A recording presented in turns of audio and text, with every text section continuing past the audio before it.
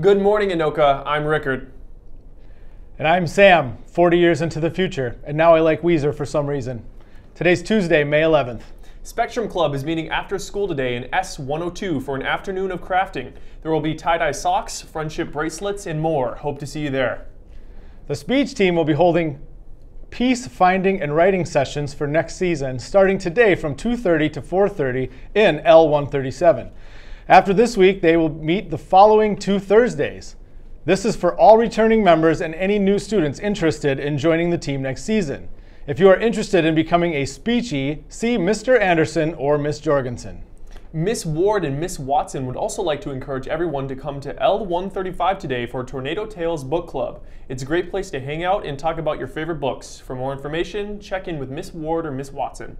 With the internet down, I should really go find that one book I bought that one time and finally read it. The Anoka Yearbook is available for order online now. Online sales will end May 14th. There will be a limited number of books for sale during distribution on a first come, first served basis. To guarantee you get a yearbook, order one now at jostens.com. The Anoka Royal Ambassador Program is back. To stay up to date with new information, please follow our Facebook at Anoka Halloween Royal Ambassador Program and Instagram at Anoka Ambassador. Come join us. Our first informational meeting will be held in the Anoka High School cafeteria on Monday, May 17th from 6 p.m. to 8 p.m. The Twisters dance team is holding a tryout prep clinic on Saturday, May 15th from 9 a.m. to 12 p.m. It's $20 to attend, and it's encouraged for new and upcoming dance team members. Additional information is available on our website. The official team tryouts will begin Monday, May 17th, and run through Thursday, May 20th, 3:30 to 5:30 p.m. each day. Attention seniors, please com complete your final decision slash transcript survey by May 28th. All colleges require your final high school transcript as part of your enrollment. This form can be found in your school email. Scholarship Night is being held on Tuesday, May 18th in the Fieldhouse at 7 p.m. Students who will be recognized, along with their parent guardian or guardian, have received an invitation via email. This event is for seniors who are receiving a scholarship from one of our community donors. Congratulations to those seniors. Now it's time for your weather forecast, and for that, let's send it out to the TV 7 News Weather Center and Jacob.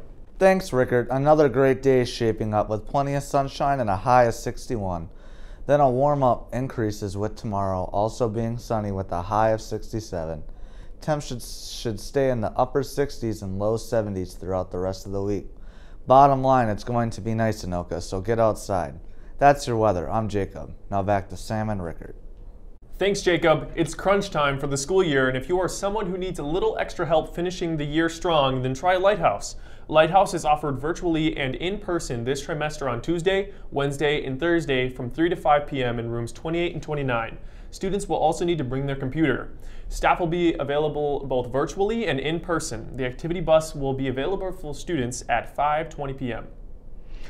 Online driver's ed is available for any student who has not taken or passed driver's education and is interested in getting a permit. Class will be held from 8 a.m. to 11 a.m. Monday through Friday from June 14th to June 25th. Class size is limited and students will be accepted on a first come, first served basis. Registration is now open until May 28th. Please remember that all students must bring their charged Chromebooks along with their charger cord to school every day. There are no chargers available for students to borrow and a quantity of spare Chromebooks is limited. Anoka seniors, there's still time to sign up for the Anoka Senior Party happening on June 8th to celebrate the end of your high school career. Celebrate with your class with the theme Exiting Off Route 21. What's your next stop? By wearing your senior t shirts or something that represents your future plans. Go to anokaseniorparty.org and claim one of the limited spots today. It's time to check in on sports and activities, and for that, let's check in with our sports anchor of the day. Thanks, Sam. Girls lacrosse won in dramatic fashion last night in triple overtime. Despite being down two late, the girls rallied to tie and won in overtime. Congratulations, ladies. The boys lacrosse team also got a big win last night with a victory 9 3 over Rogers. Great win. They face Andover on Friday. The girls softball team faces Champlin Park tonight at after school at home. The game is on QCTV. First pitch is at 4:30. The baseball team takes on Champlin Park as well under the lights. The game is at 7 p.m. at Castle Field. That's your look at sports. I'm Sam from the future. From another dimension. From the future from another dimension. Now back to Sam and Ruckert. Thanks, Joseph. Remember, if you missed anything, be sure to subscribe to the Anoka TV News channel on YouTube. Today's lunch is cheese or pepperoni calzone. You are welcome, Anoka. Until next time, I'm still Sam, 40 years in the future. And I'm still Rickert, saying have a great day, Anoka.